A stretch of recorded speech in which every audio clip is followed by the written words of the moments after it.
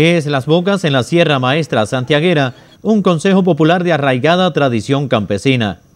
En las cinco estructuras del sector anapista está representada la juventud serrana. Entre las diversas acciones que desarrollan los más jóvenes, en estrecho vínculo con la Unión de Jóvenes Comunistas y la NAD, prevalecen el apoyo al desarrollo cafetalero y a la producción de alimentos. Los aspectos anteriores permitieron el desarrollo en la zona de este activo de jóvenes campesinos.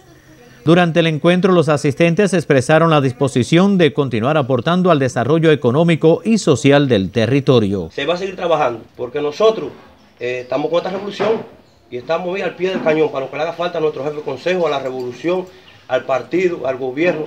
Nosotros estaremos hoy para eso porque nosotros no debemos a. Las autoridades asistentes intercambiaron además con pobladores y pioneros de la comunidad. En el encuentro fue posible reconocer a jóvenes campesinos, a comités de base de la Unión de Jóvenes Comunistas Vanguardia, a la Brigada de la Federación de Mujeres Cubanas que más se destaca en la labor junto a la juventud y a integrantes destacados de la NAD y a la mejor Brigada Juvenil Campesina.